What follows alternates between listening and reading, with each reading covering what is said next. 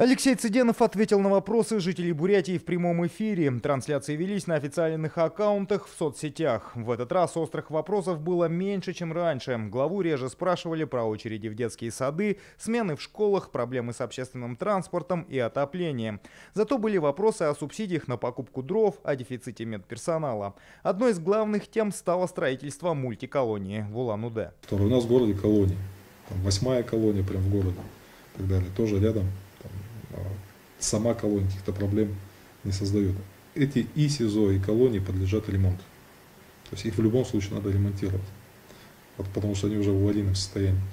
Так вот, а, чем вкладывать деньги и ремонтировать старое, лучше сделать новое. У нас новых сидельцев от этого не появляется. У нас все те же самые, что и были в том же количестве.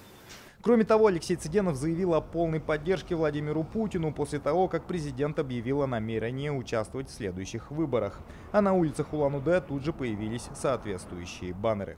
А тут вопрос не просто, чтобы там мы пошли там поддержали а, нашего президента, о том, чтобы мы это вообще сделали всем миром.